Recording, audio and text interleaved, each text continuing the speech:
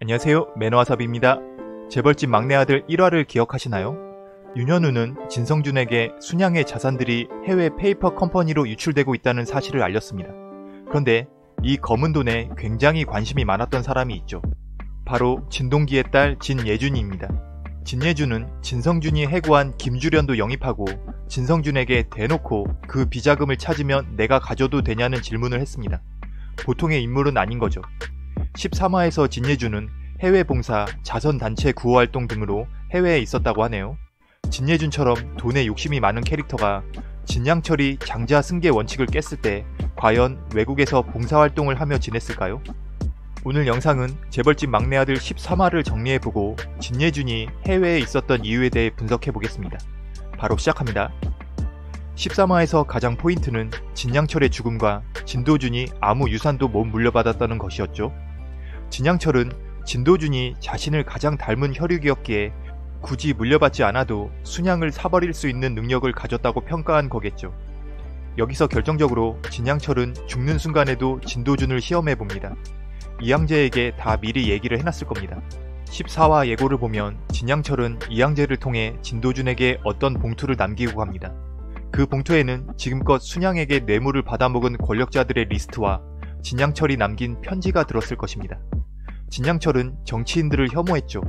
과거에 순양을 이끌어 나갈 때 그들에게 많이 빼앗겼던 것에 분노했습니다. 하지만 기업이 크게 되려면 그 증오하던 정치인과는 한 몸이 되어야 했죠.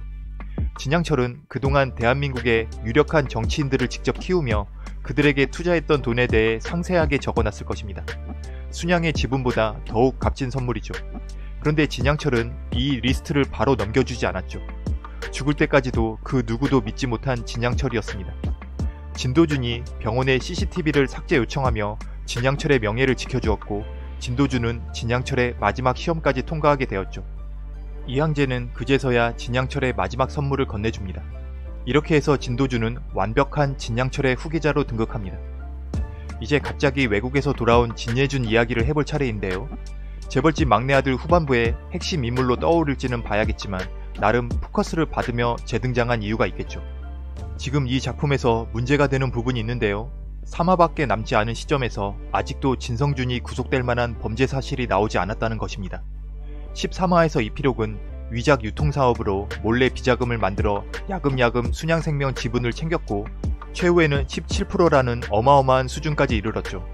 그런 이필옥도 그렇게 많이 모았는데 대한민국 최대 사채업자의 딸인 진성준의 어머니 손정래가 가만히 있었을까요? 진성준과 손정래는 순양의 자금을 몰래 빼돌리고 세탁해서 해외에 숨겨놨을 것입니다. 그 많은 비자금은 나중에 순양의 본격적인 지분 싸움에서 빛을 발하도록 묵혀두고 있었겠죠. 결국 그 돈이 진성준의 든든한 지원군이고 반대로 생각하면 진성준을 구속시킬 수 있는 최대 약점이죠. 재벌집 막내 아들 홈페이지 등장인물 소개를 보면 진예준의 능력은 대단합니다. 거의 모현민과 비등한 수준이죠.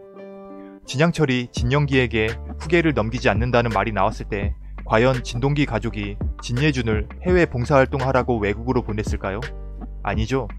진예준은 직접 나가서 진성준의 해외 비자금을 추적해 보았을 것으로 예상합니다.